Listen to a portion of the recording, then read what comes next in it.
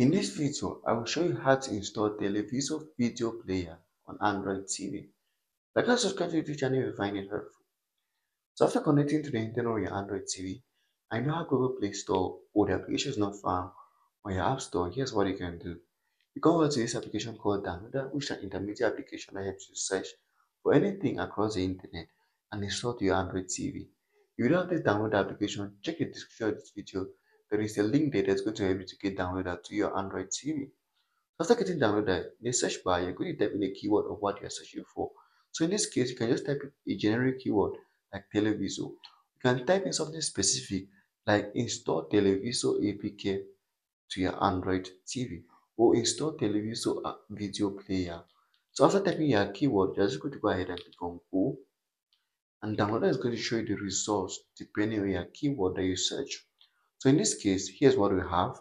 As you can see, there are many options to install the application to our Android TV. So you can just go through them to see which one works. For instance, this is an APK. This is another option. Now, they're in different languages. So I'm going to choose the one that is in English and click on it. As you can see here, there is an install button after you click on this option. And you can just click on install and install the application straight away to your Android TV. Like and subscribe to YouTube channel if you find this video helpful.